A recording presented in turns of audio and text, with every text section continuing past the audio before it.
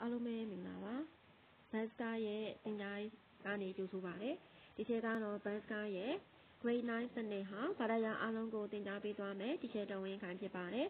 ဒီနေ့တာလို့သမီးတို့ကိုဒီချက်သင်ကြားပေးမယ်ဘာသာရပ်လေးကတော့တင်ရှာအတွဲတစ်အခန်းတစ်ကိစ္စများရဲ့ခေါင်းစဉ်အောက်မှာရှိနေတဲ့လေ့ကျင့်ခန်းတစ်တရမ3နဲ့ပတ်သက်တဲ့အကြောင်းအရာလေးကိုချက်ကဒီနေ့ပြပြပေးသွားမယ် ကဲပထမအဆုံးသားတို့သမီးတို့က irrational gain တွေအကြောင်းကိုသင်ကြားခဲ့ရပြီးပြီ။ဆို irrational gain ဆိုတာကကြတော့အဆုံးလည်းမရှိဘူး။ပြန်ထက်တရမ gain လည်းမဟုတ်ဘူးဆိုရင်ခြေတို့ကဒါကိုဘာလို့ခေါ်မှာလဲဆိုရင် irrational gain လို့ခေါ်မယ်။ဥမာခြေတို့အဆုံးလည်းမရှိဘူးဆိုတဲ့အတိတ်ပဲကခြေတို့ဘာကိုပြောချင်တာလဲဆိုဥမာခြေကအာနှစ်လေးကိုခြေက9နဲ့စားမယ်။9 3ညဒီ3ည2 တတမထိုးမယ်3ညာဆွဲချမယ်5လေးဒီ20ဒါကျဲတို့ကပါလဲဆိုအဆုံးရှိတဲ့တတမကိ3ညာတတမလေးဆိုတာအဆုံးရှိတယ်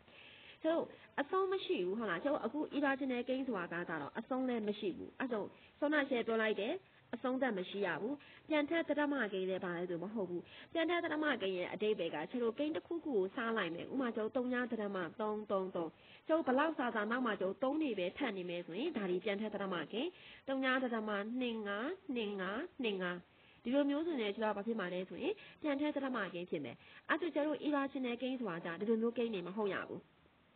အခုချယ်တို့ကအဲ့ဒီ irrational ကိန်းတွေကိုဘာလုပ်မှာလဲဆိုရင်ကိန်းကြီးတွေပေါ်မှာကိုစားပြုတဲ့အမှတ်တွေကိုရှာမယ်ကိန်းကြီးဟုတ်လားကျွန်တော်ဒါကိုကိန်းကြီးလို့ခေါ်မယ်အဲ့ဒီကိန်းကြီးမှာချယ်တို့ဒီမူလစာမှတ်၃ညပါမယ်ပြီးတော့ကျွန်တော်၃ညကနေနေကြကျွန်အနုတ်ကိန်းလေးတွေပါမယ်အပေါင်းကိန်းလေးတွေပါမယ် irrational gain root 5ကိုတဲ့ကိန်းလေးပေါ်တွင်ကိုစားပြုတဲ့အမှတ်ကိုရှာပါအဲ့ဒီမှာ share root က square root of 5ကျွန်တော်ဒီမှာဆို square root of 5ကို share root က ကဲ root 5ပေါ့ဟုတ်လား root 5ကိုချက်တာပထမအောင်ဆုံး5ကိုရင်စဉ်းစားမယ်ဒါတော့သမီးတို့ရှာရမှာဒီနှစ်ထပ်ကင်းရှာရမှာ square root နဲ့ပေးထားတာဖြစ်တဲ့အတွက်ကြောင့်ချက်တော့ဥမာတင်းဒီ9ကိုရဖို့အတွက်ဒီချက်ကပထမအောင်ဆုံး1နဲ့4နဲ့ပေါင်းကြည့်မယ်ဟုတ်လား1နဲ့4နဲ့ပေါင်းလို့ရမယ်ဒီချက်တို့က2နဲ့3နဲ့ပေါင်းလို့ရမယ်2ရဲ့3ရဲ့ပေါင်းလို့ရမယ်ဒါပဲချုပ်ရမယ်အဲ့ဒီမှာချက်စဉ်းစားကြည့်မယ်နှစ်ထပ်ကိန်းကျတို့ဒီ square root နှစ်ထပ်ကိန်းကိုကျတို့စဉ်းစားနေတာဖြစ်တဲ့အတွက်ကြောင့်တစ်ကိုချက်ကနှစ်ထပ်ကိန်းလို့ရင်တစ်နှစ်ထပ်ဒီ တစ်ပဲပြန်ရမယ်ဒီမူရင်းကိန်းပဲပြန်ရမယ်အဲ့ဒီမှာကျုံ၄၄ကိုချက်ကနှစ်ထပ်ကိန်းလို့ရင်နှစ်နှစ်ထပ်ဒီ၄အဲ့ဒါတော့သူ့ရဲ့မူရင်းကိန်းကလည်းကြောက်သွားခြင်းမရှိဘူးတစ်အပေါင်းလေးညီညာချင်းတစ် square အပေါင်း2 square ဒါဆိုရင် share တို့က5ညီညာချင်း1 square အပေါင်း2 square ဟုတ်လားအဲ့ဒီမှာကျွန်တော်တင်းနဲ့နှစ်အသေးကြီးရှိတဲ့အနားပါတယ်ဆိုတာဒေါင်းမှန်တရိကန်တကူကိုတိဆောက်ဖို့ရပါပြီ။ဆရာဒီမှာနှစ်မှကြည့်ကြည့်ဆရာနှစ်ကိုနှစ်ထပ်ကင်းတင်ကြည့်နှစ်နှစ်ထပ်အပေါင်းသုံးနှစ်ထပ်ဟုတ်လားနှစ်နှစ်ထပ်ဒီလေး သုံးနှစ်ထပ်ဒီကိုကိုနဲ့လေးနဲ့ပေါင်းကျုပ်ဘယ်လောက်ရမှာဆို73ရမယ်တချို့တို့လိုချင်တာမူရင်းကိန်း5ပဲလိုချင်တာဒါကြောင့်ဒီကနှစ်နဲ့3နဲ့ပေါင်းလို့ရမယ်နှစ်နဲ့သုံးနဲ့ပေါင်းပြီးတော့ရမယ်ငါးဆိုတဲ့တန်ဖိုးရှယ်ယူလို့မရဘူးတစ်အပေါင်းလေးဟုတ်လားပေးလိုက်တဲ့ကဏ္ဍတန်ဖိုးဒီနှစ်ထပ်ကိန်းကျလို့စဉ်းစားလိုက်မယ်ဆိုရင်လေသူ့ရဲ့မူရင်းကိန်းကကြတော့ပျောက်သွားခြင်းမရှိဘူးဒါလို့ရှယ်တို့က5ညီမျှခြင်း1 square အပေါင်း2 square ဖြစ်မယ်ဟုတ်လားအဲ့ဒီမှာရှယ်တို့ရဲ့ကိန်းဒီ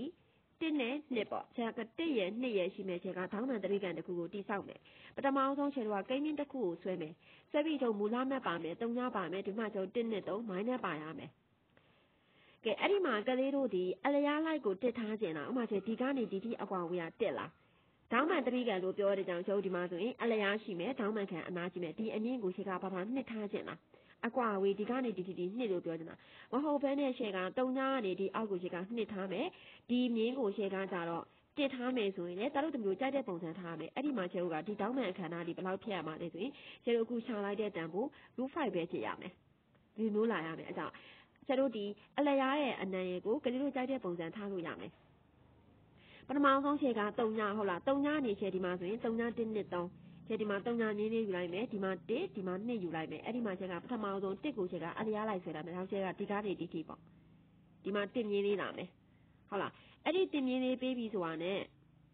ဒါဒီခြေတို့က1မြင်းလေး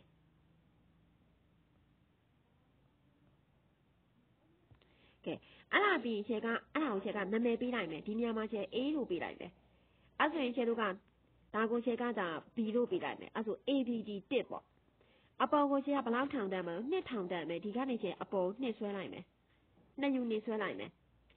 ဒါဆိုခြေတို့က C လို့ပေးလိုက်မယ်ဒါကြောင့် AC နည်းက C ဖြစ်သွားမယ်အဲ့ဒါပြီးဆိုရင်ခြေကဒီနေရာမှာဒီနည်းလေးကိုတွားပြီးတော့ sorry ရှုပ်ဒီမှာဒီနည်းလေးကိုတွားပြီးတော့ပိတ်လိုက်မယ်ဒါဆိုရှယ်တို့လိုချင်တဲ့ဘာရပြီလဲဆိုရင်ဒေါင်းမှန်တရိကန်တင်းနဲ့နှစ်ပါတယ်ဒေါင်းမှန်တရိကန်တကူဒီချက်တိဆောက်လိုက်ပြီ ကဲအဲ့ဒါပြီးရင်ရှယ်တို့ကဘာကိုယူရမှာလဲဆိုတော့ roof 5ပါတယ်ပေါ့ကျွန်တော်ဒီမှာ roof 5တန်ဖိုးပါတယ်အဲ့မှာကလေးတို့ဒီထောက်ဆူးလေးကိုယူမယ်ထောက်ရှင်လေးကိုယူမယ်ကျွန်တော်ဒီထောက်ရှင်လေးကဒီနေရာမှာဟုတ်လားထောက်ရှင်လေးကိုရှယ်တို့ကထောက်ရှင်လေးကိုရှယ်တို့ကဒီနေရာမှာဝိုက်ထောက်မယ်ဟုတ်လားကျုပ်ဒီမှာ B နေရာမှာထောက်မယ်ထောက်ပြီးတဲ့အခါမှာကျုပ်ဒီကနေကျုပ်ဒီထိဟုတ်လားဒီထောက်ရှင်ကျုပ်ဒီကနေ BC အနားလေးကိုကျုပ်ယူမယ် BC အနားတိုင်းတိုင်းပြီးတဲ့အခါမှာကျုပ်ထောက်ရှင်လေးကို white ချလိုက်မယ်ဆိုရင်ကျတို့ white ချရဲ့တမှာကျုပ်ဒီနေရာမှာလာပေါ်မယ်ဒီလိုမျိုးလာပေါ်မယ်အဲ့ဒီနေရာကိုကျတို့ကဘာလို့တတ်မှတ်ပါလဲဆိုရင် P လို့တတ်မှတ်လိုက်မယ်ဟုတ်လားဒါကြောင့်ကျတို့ကအဲ့ဒီ P ကကြတော့ဗာလဲဆိုရင်ကျတို့ကျုပ် P ဆိုတာကကြတော့ irrational gain group 5ကိုဖော်ပြမဲ့တတ်မှုလေးဖြစ်မယ် P ဆိုတာ သောနာနဝါရှယ်ကကဲဆွဲထားတဲ့ပုံတိုင်းကိုရှယ်ကြည့်မယ်ဆိုရင်ရှယ်ဒီနေရာမှာဆိုရင်တူပေးထားတဲ့ချုပ်ဒီမှာ O ရှိမယ်ဒီမှာ A ရှိမယ်ဒီမှာက B ရှိမယ်အဲ့ဒီမှာချုပ်က OA ကိုထားခဲ့တယ် AB ကကြတော့2ကိုထားခဲ့တယ် AB ဆိုတာကျတို့အခုတစ်ချက်လိုချင်တာဒီဒီ OB အနားကိုတစ်ချက်မသိဘူးကျတို့အခုစဉ်းစားနေရနှစ်ထပ်ကင်းဖြစ်တဲ့အတွက်ကြောင့် OB square ရညီမျှခြင်းကျုပ်ဘာနဲ့ဘာနဲ့ပေါင်းပါလဲဆိုရင် OA square အပေါင်း AB square ဖြစ်မယ်အဲ့ဒီမှာကျတို့ OA တန်ဖိုးဒီ1ကိုရှုံထားတယ်1 square အပေါင်း AB square ကကျိုးဘာဖြစ်မှာလဲဆိုရင်2 square 1 square 1 2 square ကျိုး4ပေါင်းလိုက်တော့9ဆိုတဲ့တန်ဖိုးရမယ်အဲ့ဒီမှာတစ်ချက်ရတဲ့တန်ဖိုးဒီ OB square ကျဲဒီမှာ square root ကိုဖျောက်ကြည့်ကျိုးဘာလို့မှလဲဆိုဒီမှာကျိုးနှစ်ထပ်ကိန်းကျဲဒီ square root ကိုဖျောက်ကြည့်ကျိုးဟိုဘက်မှာကျတော့ OB ကိုချက်က OB တောင်ချက်မှာပေးထားဒီ OB OB square မဟုတ်ဘူး OB ကိုလိုချင်နေဆိုရင်ချက်တို့ဒီဘာလို့မှလဲဆိုဒီမှာ square root ကကျုံညီညာချင်းရဲ့တစ်ဖက်ကိုရောက်မယ်ဆိုရင် root ပုံစံဖြစ်သွားမယ် root 5 နောက်ချက်တို့ဒီဒီနေရာမှာ OB တန်ဖိုးဒီ root 5ဆိုတဲ့တန်ဖိုးကိုရမယ်ဟုတ်လားနောက်ချက်တို့ကကိန်းကြီးပေါ်မှာဟုတ်လားကျွန်တော်ဒီမှာဆိုရင်ကိန်းကြီးပေါ်မှာရှယ်ဘာလို့လိုက်တာလဲဆိုရင် OB တန်ဖိုးဒေါင်းမှန်တရိကန်တစ်ခုကိုရှယ်တိဆောက်ပြီးတော့တစ်ချက်လိုချင်တဲ့ OB အနားကိုရှာလိုက်တယ်အဲ့ဒီမှာကျွန်တော် P ဆိုတဲ့အမှတ်လေးကဆယ်ဆောနာတော့ထောက်ရှင်နေတဲ့ကျွန်တော်ဒီလိုဝါရမယ်ဟုတ်လားဝါတဲ့အခါမှာ P ဆိုတဲ့အမှတ်လေးဒီ irrational gain root 5ကိုဖော်ပြမဲ့အမှတ်လေးဖြစ်မယ်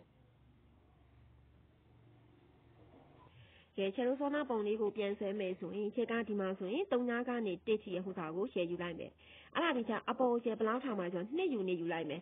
ပေတန်လေးကိုယူပြီးတော့ကလေးတို့ကဒီမှာဆိုရင်ကျွန်တော်2ဟုတ်လား2ကိုတိုင်းလိုက်မယ်တိုင်းပြီးတဲ့အခါမှာချေရိုဘာလုပ်မှာလဲဆိုရင်အဲ့ဒီနေရာကိုချက်ကနာမည်ပေးလိုက်မယ်ဒီတလေးကိုရှာ A လို့နာမည်ပေးမယ်ဒီနေရာမှာချဲ O လို့နာမည်ပေးမယ်ဒါကိုချက်ကသာ B လို့နာမည်ပေးလိုက်မယ် B ကိုချက်ကကြတော့2ယူနေထားလိုက်မယ် A ကိုကြကြ1ယူနေထားလိုက်မယ် အဲ့ဒါပြီးတဲ့အခါမှာချဲတို့ကဒီမြင်းလေးကိုလာပိတ်မယ်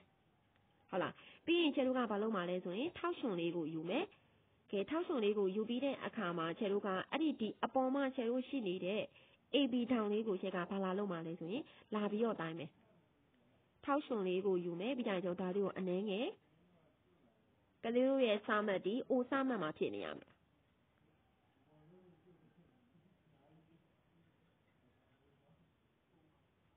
ကဲချက်ဒီနေရာလေးကိုဟုတ်ပြီနော်ချက်ဒီနေရာလေးယူလိုက်မယ်ယူပြီးတဲ့အခါမှာချက်ကဘာလုပ်မှာလဲဆိုရင်ဒါကိုချက်ကဒီအတိုင်းတာပေါ့နော်ဒီအတိုင်းတာကိုချက်ယူပြီးတဲ့အခါမှာအောက်ကိုလာဝိုင်းမယ်ချက်တို့က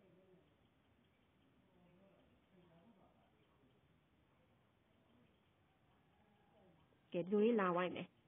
ဟုတ်လားဒီဝိုင်းတိုင်းတဲ့နေရာလေးဒီချက်တို့ကဘာတန်မိုးဖြစ်မှာလဲဆိုရင်ပီဆိုတဲ့တန်မိုးလေးဖြစ်မယ်ဟုတ်လားဒီကနေဒီဒီအကွာဝေးတိုင်းကလေးတို့ဒီထောက်ချုံလေးကိုလာထောက်ပြီးတော့ဝိုက်ပြီးလိုက်အောင်ပဲအဲ့ဒီမှာဒီချက်တို့ရတဲ့တန်မိုးဒီ ချဲလိုချင်တာဒီ OB တန်ဖိုးကို လိုချင်တာဖြစ်တဲ့အတွက်ကြောင့်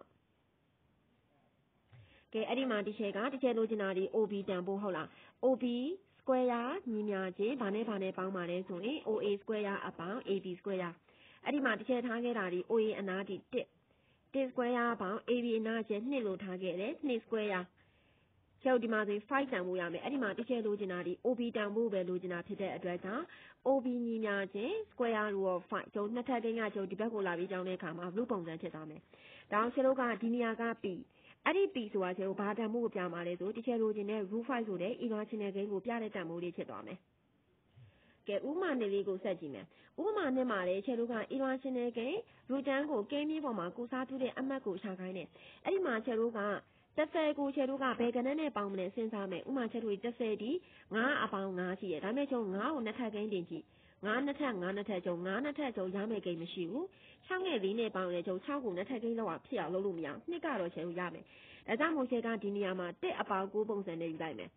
တစ်ကိုရှုံးနှစ်ထပ်တင်တစ်ပဲပြန်ရမယ်ကိုဒီရှုံးသုံးနှစ်ထပ်ဟုတ်လားတင်းနှစ်ထပ်အပေါင်းသုံးနှစ်ထပ်တန်ဖို့ရမယ်အဲ့ဒီမှာခြေတို့ကအောက်တန်ဖို့ခြေကဘာပဲထားမှာလဲဆိုရင် တစ်လိုပဲထားလိုက်မယ်အပေါ်ကတန်ဖို့ရှာ3လိုယူလိုက်မယ် A ကနေချေ B က3တပီးယူနေယူလိုက်မယ်ဒီမှာ1ယူနေယူလိုက်မယ်ပြီးကြရင်ကလေးတို့က O နဲ့ B အများကြီးကိုချုပ်ဘာလို့မှလဲဆိုရင်စောနာတိုင်းပဲချေတို့ဒေါင်းမှန်ကန်အနာကြီးဆွဲမယ်ဆွဲပြီးတဲ့အခါမှာကျိုးထောက်ရှင်လေးကို O မှာထောက်ပြီးတော့ကျုပ် B ကိုသွားပြီးတော့ထောက်မယ်ထောက်ပြီးတဲ့အခါမှာကျုပ်ဒီအဲ့ထောက်ရှင်ပြီးဝိုင်းလိုက်မယ်အဲ့ဒီဝါလိုက်တဲ့တန်ဖိုးလေးနေရာမှာချေတို့က P လို့ထားလိုက်မယ်ဒါဆို DP ဆိုတာကကြတော့တကယ်လို့အခုဆွဲခြင်းနဲ့ AR ခြင်းနဲ့ကိန်း root တန်းကိုကိုစားပြုတဲ့ကိန်းမြင့်ဖြစ်မယ် ကဲအဲ့ဒီမှာချက်အခုသိကျင်တာကကြတော့ OB ဘယ်လောက်လဲဆိုတာကိုဒီချက်သိဒီနာလေးကိုဒီချက်သိကျင်စီရတောင်းမှန်ခံအနာပေါ့ဒါချက်ကပုံကိုပြန်ဆွဲပြမယ်ဆိုရင်ဒီမှာ O ရှိမယ်ဒီမှာ A ရှိမယ် B တန်မိုးလာမယ်ဒီမြောင်ချက်မသိဘူး OA ကချက်တစ်ထားခဲ့တယ် AB ကချက်သုံးထားခဲ့တယ်ကဲ OB ကိုလိုချင်တောင်းမှန်ခံအနာရဲ့ကျိုးပါတယ်နှစ်ထပ်ကိန်းများပေါင်းလက်ဒီကျန်နာနှစ်ခုရဲ့နှစ်ထပ်ကိန်းများပေါင်းလက်နဲ့ညီတာဖြစ်တဲ့အတွက်ကြောင့် OB square ညီများချင်း OA square အပေါင်း AB square ဖြစ်မယ် OA square တန်ဖိုးက ကျတော့1 square ဖြစ်မယ် AB square တန်ဖိုးက 3 square ဖြစ်မယ် ညီများချင်း30ဒါက ကျတော့က OB square ရဲ့တန်ဖိုး ဒီချက်သိကျင်တာဒီ OB ကို သိကျင်တာဖြစ်တဲ့အတွက်ကြောင့် root တန်းဟုတ်လား square လို့ချုပ်ချလိုက်မယ်ဆိုရင် root တန်းပုံစံဖြစ်သွားမယ် ကဲ ဒီနေရာဖြစ်ချေတို့က irrational ကိန်း root တန်းကို ကိန်းမြင့်ပေါ်မှာ ကိုစားပြုတဲ့အမှတ်ကို ရသွားမယ်ကဲလေ့ကျင့်ခန်း1.3မှာ ကြည့်မယ် အောက်ပါကိန်းမြင့်များကိုတဲ့အောက်ပါကိန်းများကိုကိန်းမြင့်ပေါ်တွင်ဖော်ပြပါအဲ့ဒီမှာချေတို့က root တာတင်းပေးထားတယ် sum တင်းပေးထားတယ်18 1/2 root 2ပေးထားတယ်ကဲချက်နဲ့တူဒီပု္ပ္ပာလေးကိုတွက်ကြည့်မယ်လေ့ကျင့်ခန်း1.3မှာကျတို့ root 73ကိုကျတို့ကစဉ်းစားမယ်ဆိုရင်ကျတို့ကနှစ်ခုကိုကြာနှစ်ထပ်ကိန်းရမယ်နီးစဉ်းစားပြရမှာဖြစ်တဲ့အတွက်ကြောင့်73ကိုကျဲက7နဲ့1နဲ့ပေါင်းလို့ရမယ်1ကတော့ကျဲ1နှစ်ထပ်ကိန်းရတယ်ဒါပေမဲ့ကျုပ်7ဒီကျုပ်နှစ်ထပ်ကိန်းနှစ်နှစ်ထပ်ဒီ4 3နှစ်ထပ်ဒီကိုကလေးတို့ကစဉ်းစားပါအလီတူတာစဉ်းစားမယ်နှစ်နှစ်ထပ်ဒီ4 3နှစ်ထပ်က9ဟုတ်လားကျတို့က4နှစ်ထပ်က4လေးစက်ကြောင့်အဲ့ဒါကြောင့်7နှစ်ထပ်ရမယ်ကိန်းလုံးဝမရှိဘူးကဲ7နှစ်နဲ့တင်းနဲ့မရဆိုပေါင်းချလို့စဉ်းစားလိုက်တဲ့အခါမှာကိုအပေါင်းလေးကိုနှစ်ထပ်ဒီကိုအပေါင်းလေးကိုဒီချောက3 3ဒီကို4ဒီနှစ်နှစ်ဒီ4ဟုတ်လားကဲအဲ့ဆိုချက်ကဒီအောက်မှာဆိုရင်ကဲကလေးတို့ကြားတဲ့ပုံစံနဲ့အလျားချေလို့အလျားအမြင့်တန်ဖို့စိတ်ကြိုက်ထားမယ်ချက်ကအောက်မှာဆို3ညနေ 3ထိဟုတ်လားချက်3ကိုယူလိုက်မယ် OA တန်ဖိုးက3 AB တန်ဖိုးကိုကြတော့ဒီချက်ကဘာလို့ထားမှာလဲဆိုရင်4လို့ထားလိုက်မယ်ဟုတ်လားပြီးတိုင်းချုပ်ပုံမှန်တိုင်းပဲဒီမှာချုပ်ဒီကနေဒီတီက3တန်ဖို့ယူမယ်ဒီမှာ3ဒီမှာ4ယူတိုင်းမယ်ယူပြီးချုပ်တောင်းမှန်ခံအနာကဘာလုပ်မှာလဲဆိုရင်ပိတ်လိုက်မယ်ပိတ်ပြီးတဲ့အခါမှာခြေတို့ရဲ့ထောက်ရှင်ကို O မှာထောက်ပြီးတော့ O ကနေချုပ် B ကိုသွားပြီးတော့ထောက်ဆိုးထောက်ထောက်ပြီးတဲ့အခါမှာချုပ် white ရှာမယ်အဲ့ဒီ white ရှာရတဲ့တန်ဖိုးဒီ P ဖြစ်မယ်အဲ့ဒီ P ဒီဒီချက်တို့လိုချင်တဲ့ imaginary game ဒုတာတင်းကိုဖော်ပြတဲ့မြင်းဖြစ်မယ် ဒါမဲ့ကျုပ်ဒီနေရာမှာဘာကိုစဉ်းစားပြရမှာလဲဆိုရင် OB တန်ဖိုးလေးကိုဒီရှင်စဉ်းစားပြရအောင်မယ် OB တန်ဖိုးချက်တို့ဘယ်လောက်ရှိပါလဲပေါ့ချုံစောနာပုံစံနာနိုင်မယ်ပုံတင်နီးချမယ်ဆိုရင် OB square ညီမျှချင်း OA square အပေါင်း AB square ဖြစ်မယ်အဲ့ဒီမှာ OA တန်ဖိုးကိုချေက3 square အပေါင်း AB ကကြာ4ဆိုတော့4 square ဆိုတော့2 square ဖြစ်မယ် နှစ်ခုပေါင်းလိုက်ရင်73ရမယ် အဲ့ဒီမှာ တကယ်လိုချင်တာဒီ OB တန်ဖိုးကို လိုချင်တာဖြစ်တဲ့အတွက်ကြောင့် square လေးကိုချုပ် square တန်ဖိုးနှစ်ထပ်ကိန်းကိုချုပ်ဖြောက်မယ်ဆိုခုမှချုပ် root တန်ဖိုးဖြစ်တာနဲ့ root တာတင်ဟုတ်လား အဲ့ဒါဆိုချက်တို့ဒီမှာပြီးဆိုတာကကြတော့ irrational ကိန်း root တာတင်ကို ဖော်ပြမယ်ချက်တို့ရဲ့ OB တောင်းမှန်ခံနာလေးကလည်း ဘယ်လောက်ဖြစ်သွားမယ်လဲဆိုရင်73ဆိုတဲ့အခြေလေးကို ရသွားမယ် ကဲကျောင်းနံပါတ်1မှာလည်း အဲ့ဒီတိုင်းပဲစက်ခွန်ကိုရုပ်ရှင်းတဲ့အခါမှာ ဆက်ဆောက်အပေါင်း1 ဟုတ်လားဆက်ဆောက်ကိုကျတို့ကနှစ်ထပ်ကိန်းချတဲ့အခါမှာ4 square အပေါင်း1 square အဲ့ဒီမှာကျတို့ဆွမ်းနာတိုင်းပဲကျတို့အောက်ကမြင်းကိုကျကဘယ်လောက်ထားမှလဲဆိုရင်၄ထားလိုက်မယ်အပေါ်ကိုတစ်ထားလိုက်မယ်တောင်းမှန်ခံအနာဆွဲမယ်။ O ကနေကျတို့ B ကိုထောက်ဆူးထောက်မယ်။ Y မယ်။ Y လို့ရတဲ့နေရာကို P လို့ထားမယ်။အဲ့ဒီ P ဆိုတာကကြတော့တကယ်လို့အခုရှာလိုက်တဲ့ imaginary game root something ကိုဖော်ပြလိုက်တဲ့ကိန်းမင်းလေးဖြစ်မယ်။ဒီနေရာမှာကျက OB တန်ဖိုးလေးကိုရှာမယ်ဆိုရင်ကျတို့ပုံလေးနည်းထဲမှာအစားသွင်းမယ်။ OB square ညီမျှချင်း OA square အပေါင်း AB square ဟုတ်လားအဲ့ဒီကနေမှကျတို့လိုချင်တဲ့အဖြေတန်ဖိုးကိုရမယ်။နံပါတ်3မှာလည်း18နံပါတ်3 18မှာဆိုရင်ရှယ်က6နဲ့9နဲ့တွက်ပေးထားတယ်6အပေါင်း9 9ကိုရှုံနှစ်ထပ်ကိန်းတင်မှာဆိုရင်3 square ရနောက်ထပ်9ကိုရှုံနှစ်ထပ်ကိန်းတင်မှာ3 square ရ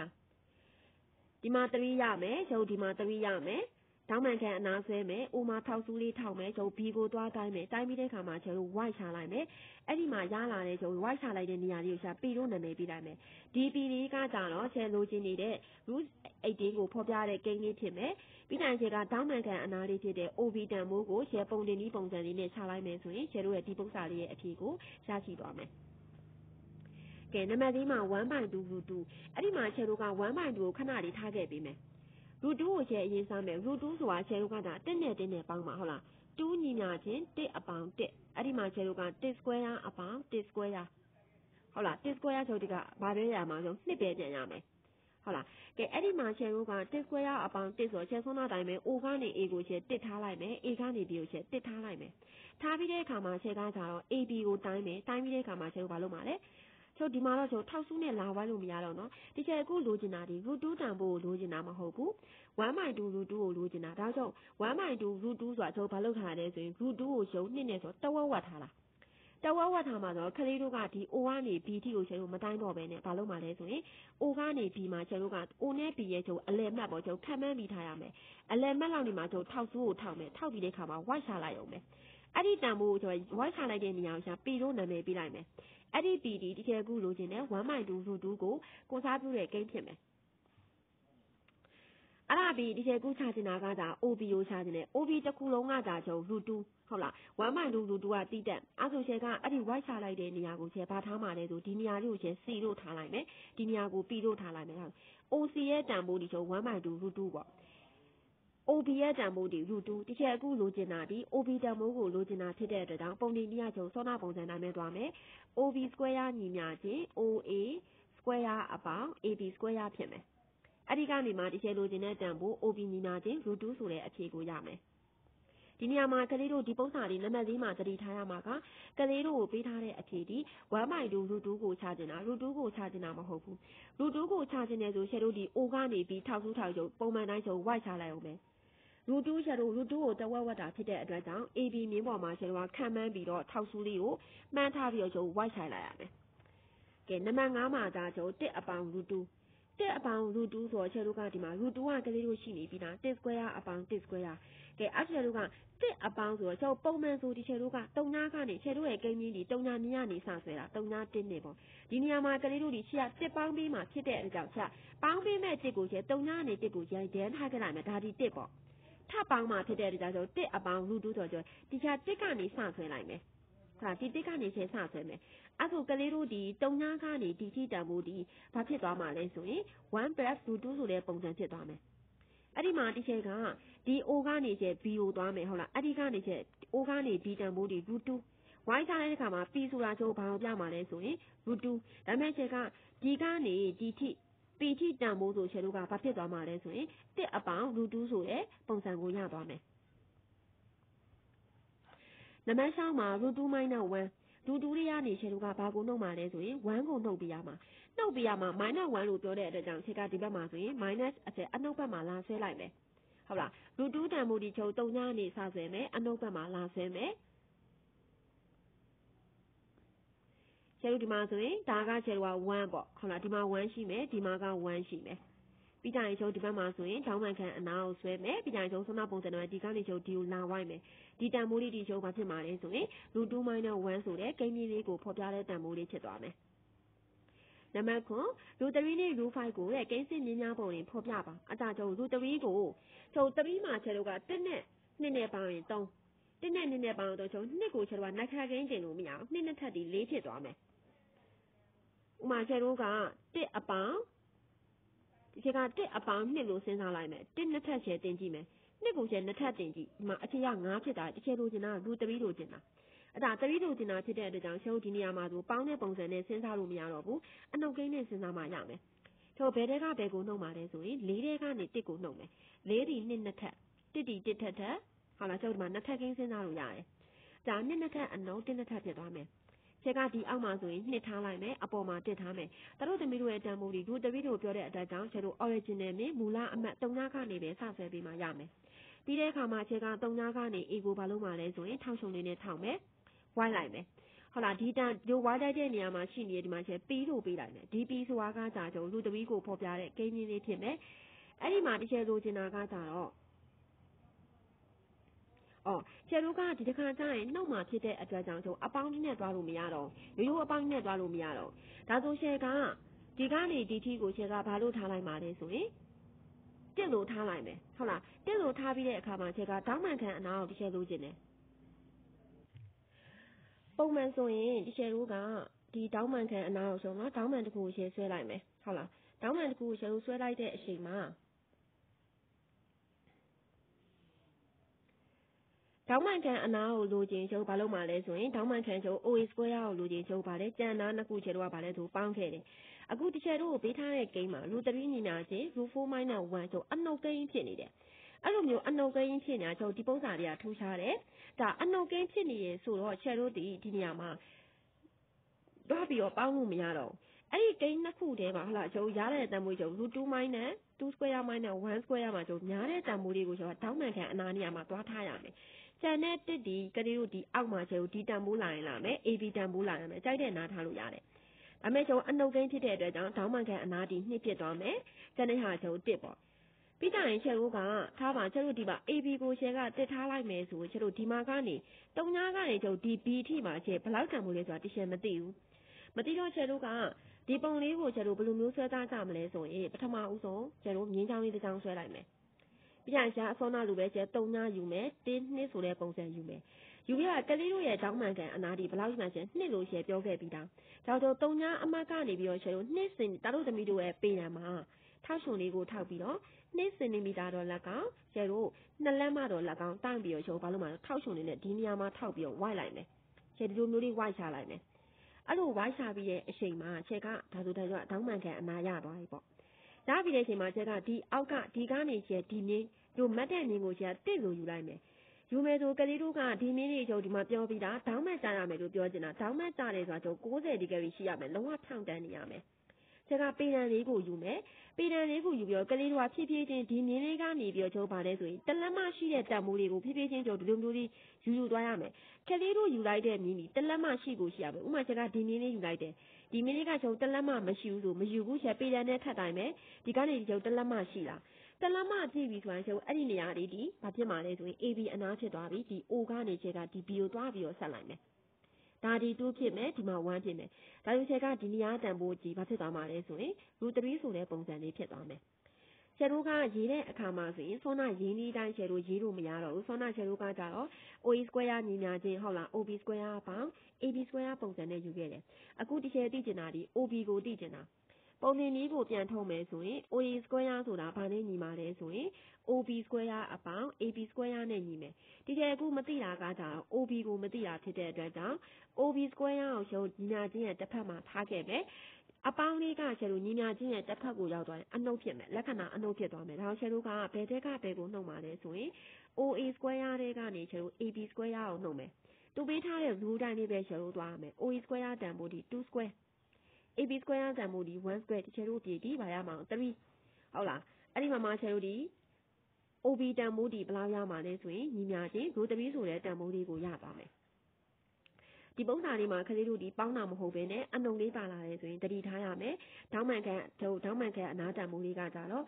ညားတဲ့လက္ခဏာလေးညားတဲ့ကျတို့ကိန်းလေးဖြစ်သွားမယ်။ root 5တန်ဖိုးကတော့ကျွန်တော်ပုံမှန်တိုင်းပဲတွေ့မယ်2 square အပေါင်း1 square ဟုတ်လားကျွန်တော်ဆောနာအချင်းရှိမှတွေ့ကြတဲ့ပုံစံတိုင်းလေးပဲမြင်းလေးဆွဲမယ်အဲ့ဒီမှာခြေတို့ကဒီအောက်ကမြင်းကိုခြေကနှစ်ယူလိုက်မယ်အပေါ်ကမြင်းကိုတစ်ယူမယ် ပြီးတိုင်းကျွန်အိုဆိုတဲ့အမတ်လေးမှာထောက်ဆူးလေးနဲ့ထောင်မယ်ဘလောင်တိုင်းမှာလေးဆိုကျွန်ဒီကနေကျွန်ဒီထောက်ကျွန်အိမ်နီယာဒီကလေးကထောက်ဆူးလေးကိုသွားဖွင့်မယ်ဖွင့်ပြီးတဲ့အခါမှာခြေတို့ white ရှားလိုက်မယ်ဒီမှာခြေတို့က P ဆိုတဲ့ root 5တန်ဖိုးကိုရမယ်အဲ့ဒီမှာတရှင်မတိတဲ့တန်ဖိုးကဒါဘာလဲဆိုရင် OA ကိုတရှင်မတိဘူး OA square ကိုလိုချင် OB square နဲ့ AB square နဲ့ပေါင်းမယ်ပေါင်းလိုက်တဲ့အခါမှာတရှင်လိုချင်တဲ့ OAD root 5ဆိုတဲ့တန်ဖိုးလေးကိုရလာမယ်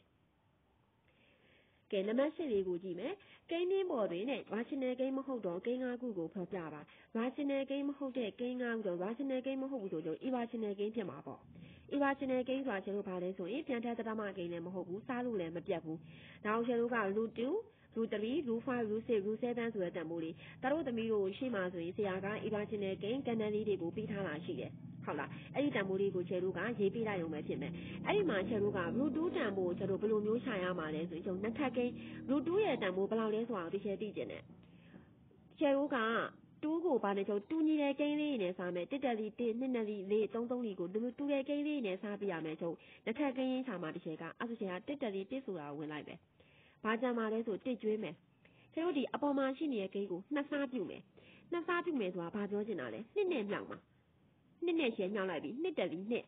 အဲ့ဒီမှာကဲကလေးတို့ဒီကျုပ်နှစ်ထပ်ကိန်းချတဲ့ခါမှာကျုပ်ရိုးရိုးစားရင်ရှယ်တို့ကကိန်းတစ်လုံးတစ်လုံးဆွဲချတယ်ချဲဒီနီမှာဆိုဓမ္မထူပြီးကျုပ်ကိန်းကိုနှလုံးဆွဲချမယ်တုံညာတုံညာဆွဲချမယ်တရားကဲ3 3လီကို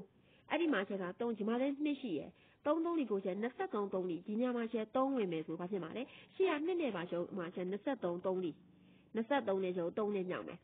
ကိန်းလီဒီတူတဲ့အလူပဲဝင်ရမယ်3နဲ့လီ6 4နဲ့လီရှိမရဘူး3ဆို3လီပဲဝင်ရမယ်4ဆို4လီဆက်6 5 5လီ25အဲ့ဒါ3 3လီကို3နဲ့လီ6 60ကိုဆိုနေသေးတယ်လေးလီတစ်ချက်စဉ်းစားမယ်24လေးလီကျုံရှေ့ရကြရပြန်ပါရမယ်လေးလီဆက်ရှောက်ရှောက်ရေးတင်မဲ့လေးနဲ့ရှေ့96 24လေးလီ92မှာရှောက်96ဆိုချက်လို့ရတဲ့တန်ဖိုးကဘလား6ချက်၄ကျွင်းမှာပေါ့ ကဲ၄ကျွင်းမယ်ဆိုရင်ချက်တို့ကဆုံးနာပုံစံနဲ့ချက်အပေါ်မှာချက်ဘာရသွားမှာလဲဆိုရင်14ရပါမယ်အဲ့ဒီ14ကိုချက်ကဘာလို့မှနောက်က3ညနှလုံးထပ်ဆွဲကြမယ်14ကိုချက်နှစ်ထပ်ကင်းပြုမယ်ဆို14နဲ့ဒီ28ဟုတ်လား28ကိုချက်ကဒီမှာအစီစဉ်းစားကြည့်မယ်3 3လီ283 3လီနှစ်လီချုံနှစ်နှစ်လီလေးနှစ်ရှိစနာဆောင်းရေးဒီမှာ900ကျော်ပါအဲ့ဒါ281တက်လီပဲဝင်လို့ရမယ် 281တက်လီ281အဲ့ဒီနီတာနေချက်ကိုဆက်သွားမယ်ဆိုရင်ချုပ် root 2ရဲ့တန်ဖိုးဒီ1.414ဆိုတဲ့ကလေးတို့အခြေလေးကိုရမယ်1.414ကိုချက်ကကိန်းင်းပေါ်မှာနေရာချမယ်ဆိုချုပ်တစ်အကျော်လေးမှာပေါ့ဟုတ်လားချုပ် root 3ကိုလည်းနှစ်ထပ်ကိန်းရင်းချကြည့်မယ်ချကြည့်ပြီးတော့ရတဲ့အဖြေလေးရချုပ်တစ်တရမချုပ်ဘယ်လောက်ကျော်လဲကလေးကဒီမှာဆိုကိန်းင်းလေးပေါ်မှာသူ့ရဲ့တရမကိန်းလေးလိုက်နေရာလေးလာချပြီးရုံပဲနံပါတ်9တင်းနဲ့ရူတူကြားကြည့်ဘာချင်တဲ့ကိန်းတစ်ခုကိုဖော်ပြပါတဲ့တင်းနဲ့ရူတူရှယ်လိုတစ်ရူ တူရဲ့တန်ဖိုးဆို1.414ကျ1.4ပဲထားကြည့်မယ်အဲ့တော့တစ်ဒရမလေးဆိုတစ်ဒရမ3ညပေါ့တစ်ဒရမ3ညတစ်ဒရမ1တစ်ဒရမ2လာမယ်တစ်ဒရမ3လာမယ်တစ်ဒရမ4လာမယ်ဆိုတစ်နဲ့တစ်ဒရမ4ကြားမှာရှိနေတဲ့ rational gain ဒီဘယ်နှလုံးရှိမှာလဲဆိုရင်3လုံးရှိမယ်အဲ့ဒါတလို့သမီးတို့ကြိုက်တဲ့ gain တစ်ခုကိုရေးပေးလို့ရမယ်နောက်ခုဆိုတင်းနဲ့ရူတူသားကြီး irrational gain တစ်ခုကိုဖော်ပြပါတဲ့အဲ့ဒါဆို irrational gain ဆိုတာချုပ်ပါလဲဆိုရင် irrational gain ဆိုတော့ခြေတို့ကပြန်ထက်တရမ gain လည်းမဟုတ်ဘူးအဆုံးလည်းမရှိဘူးဆိုတော့ချုပ်ဘာလုပ်ပေးမှလဲဆိုရင်အဲ့ဒီကိန်းလေးကိုခြေတို့ကဒီမှာသူခြေတို့ကဒါ root 7ဟုတ်လား1နဲ့ချုပ် root 2သားမှရှိနေ irrational gain ဆိုတော့ root 7 root 7ကိုခြေကဘာလို့ရှုံ2နဲ့စားကြည့်လိုက်ဟုတ်လားကျုပ်လူ7ကိုကျုပ်လူ7ရဲ့တန်ဖိုးကလေးတို့အရင်ချကြည့်လူ7တန်ဖိုးဒီရှယ်တို့ကဘာဖြစ်မှာလဲဆိုရင် irrational rational gain ဖြစ်မယ်အဲ့ဒီ rational gain ကိုကျုံ2နဲ့ irrational gain ကိုကျုံ2နဲ့စားကြည့်ရလာတဲ့တန်ဖိုးကြီးရှယ်တို့ဘာလဲဆိုပြန်တက်တရမ gain လည်းမဟုတ်ဘူးပြန်လည်းမပြတ်ဘူးဖြစ်တဲ့အကြောင်းရှယ်တို့ရဲ့ irrational gain လူ7မှ2ဆိုတဲ့အဖြေလေးကိုရမယ် root 5နဲ့ root တာတင်းကြည့် irrational gain တစ်ခုကိုချကြည့်ပါတဲ့ရှယ်တို့က root 5နဲ့ root 73တန်းမှာကျုံ root 5ရှိမယ်ဟုတ်လား root 6 root 7ကျုံတန်းစီရေးသွားမယ်အဲ့ဒီရေးသွားတဲ့ကိန်းတွေထဲမှာမှာကလေးတို့ဒီ root 6တန်ဖိုးကဘယ်လောက်လဲဟုတ်လားပြီးတော့ကျုံ root 7တန်ဖိုးကဘယ်လောက်လဲ root 8တန်ဖိုးကဘယ်လောက်လဲ root 9 root 10 root 11 root 12အဲ့ဒီတန်ဖိုးလေးကိုရှယ်တို့ကနှစ်ထပ်ကိန်းရင်းချကြည့်ပြီးတဲ့အခါမှာကလေးတို့ရဲ့အဖြေ irrational gain တန်ဖိုးလေး root 10ဆိုတာကိုရလာမယ်ကဲနံပါတ်7 အောက်ပါကိန်းစစ်များကိုကိန်းင်းများပေါ်တွင်ဖော်ပြပါဆယ်ဆုံးနာပုံစံလေးတိုင်းပဲလာမယ်ဂျမာချယ်တို့က minus ဆို minus ဘက်ကိုလှည့်ပေးရမယ် plus ဆိုရင် plus ဘက်ကိုလှည့်ပေးမယ်ဒါတို့သမီးတို့ပေးထားတဲ့ကိန်းလေးဒီ minus root 2 root 2ဆိုရင်ချယ်တို့ကပုံမှန်တိုင်းပဲဘာလုပ်မှာလဲဆိုရင်အပေါင်းကိန်းလေးဘက်ကိုသွားမယ်အခုတချယ်တို့က minus root 2ဖြစ်တဲ့အတွက်ကြောင့်ဒါတို့သမီးတို့ရဲ့ကိန်းလေးဒီ minus ဘက်ကိုလာဆွဲရမယ်3ညနေချုံ minus ဘက်ကိုဆွဲရမယ်ဆဲပုံစံလေးဒီအတူတူပဲဖြစ်တယ် minus လေးပဲပို့သွားမယ်ချယ်တို့က root 2ဒီ t square အပေါင်း t square နောက်ဆုံးမှာမှာချယ်တို့ဒီအဖြေကိုဘာလုပ်မှာလဲဆိုရင် minus ဖြစ်တဲ့အတွက်ကြောင့် minus ဘက်ကိုလှည့်ပြီးတော့ p ဆိုတဲ့တန်ဖိုးလေးဒီ minus root 2ကိုဖော်ပြပါတယ်ဆိုတဲ့စာလေးရေးပေးရုံပဲ ကဲ အဲ့ဒီအတိုင်းလေးပဲ ချယ်တို့က ဘာကိုတွက်မှာလဲဆိုရင် နံပါတ် b minus root 10 ချယ်တို့ minus ဘက်ကိုလှည့်မယ် root 10 ကို ချယ်တို့က6အပေါင်း 1 ပေါ့ 3 square အပေါင်း 1 square ပုံစံနဲ့ ချယ်တို့သွားပြီးမယ် 1/2 root 5 ဟုတ်လား 1/2 root 5 ကျော် root 5 တန်ဖိုး 1/2 root 5 မှာ တစ်ချယ်တို့က root 5 တန်ဖိုးက ကျော် plug in ဖြစ်တဲ့အတွက်ကြောင့်3ညကနေ ကျော်အပေါင်းကိန်းဘက်ကို သွားပြီးမယ်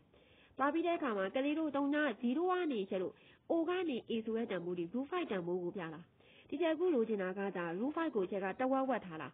တဝက်ဝက်မှာဖြစ်တဲ့ကြောင့်ကျုပ် O ကနေ A ကြားထဲမှာကျုပ်ကလေးတို့ထောက်ဆူးလေးကို O မှာထောက်ပြီးတော့ဆရာတို့တဝက်ပုံစံရတဲ့အတိုင်းကျုပ်ဆွဲချလိုက်မယ်အဲ့ဒီတန်ဖိုးတွေကျုပ်ဘာဖြစ်မှာလဲဆိုရင်1.205ကိုဖော်ပြတဲ့တန်ဖိုးလေးဖြစ်သွားမယ်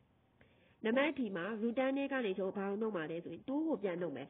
လူတန်းတွေကနေကျတို့ပုံမှန်ကျတို့အဆိုကဲချက်ကလူတန်းဆိုရင်3 square ပေါင်းတေးချဲအောက်မှာ3ထားလိုက်မယ်။ plus ကိဖြစ်တဲ့အတွက်ကြောင့်ကျတို့ plus ဘက်ကိုသွားမယ်။လူ3လာမယ်ဒီမှာကျတို့က1လာမယ်။ ပြန်ကျုံ OA တန်မှုဒီဘယ်လောက်ဖြစ်မှာလဲဆိုရူတန်ပံမိုးဖြစ်မယ်။ကျတို့ O ကိုထောက်ပြီးတော့ A မှာထောက်ရှင်လေးကိုဝိုက်မယ်။ P ဆိုတဲ့တန်မိုးလေးရူတန်တန်မိုးကိုရမယ်။အဲ့ဒီရူတန်ဒီကနှုတ်မှာဖြစ်တဲ့အတွက်ကြောင့်ကျုပ်ဘယ်လိုပြန်သွားမှာလဲဆိုရင်ဒေါင်းမှန်ကလေးတို့ရဲ့ဒေါင်းမှန်တရိကန်နဲ့ကျုံနောက်ကိုပြန်သွားမယ်။ ဒီပီလေးမှာတစ်ချက်ကထောက်မယ်တူးကိုနှုတ်မှာဖြစ်တဲ့အတွက်ကြောင့်ကလေးတို့ရဲ့ပေတံလေးမှာထောက်ရှင်လေးကိုယူပြီးတော့နှစ်လက်မတော်လက်ကောင်2စင်တီမီတာတော်လက်ကောင်ချုပ်ယူပြီးတော့ဒီပီဆိုတဲ့နေရာလေးအချုပ်2စင်တီမီတာချက်တန်ဖိုးလေးကိုချတွားပြီးတော့ဝိုက်လိုက်မယ်ဆိုရင်ဒီနေရာလေးဒီဘာဖြစ်မှာလဲအဲ့ဆိုကြဒီပီကနေချက်အိုကနေပီတန်ဖိုးဒီလူတန်းတန်ဖိုးဟုတ်လားပြီးကြရင်ချက်ကဒီပီကနေမှချက်ဒီတန်ဖိုးဒီဘာဖြစ်မှာလဲဆိုရင်လူတန်းလေးကနေပြီးတော့ချက်တို့ကလူတူးကိုနှုတ်တဲ့တန်ဖိုးလေးဖြစ်သွားမယ်